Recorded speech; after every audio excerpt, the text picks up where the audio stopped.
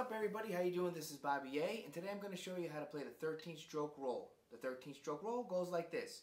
Right, right, left, left, right, right, left, left, right, right, left, left, right, and then you repeat with the other side. Left, left, right, right, left, left, right, right, left, left, right, right, left.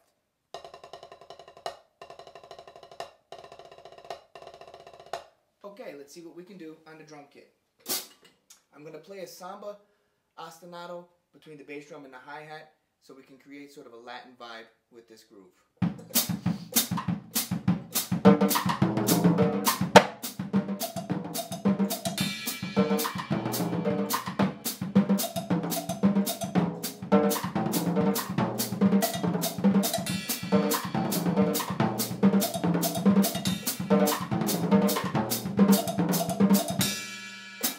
And that's your root a minute with Bobby A.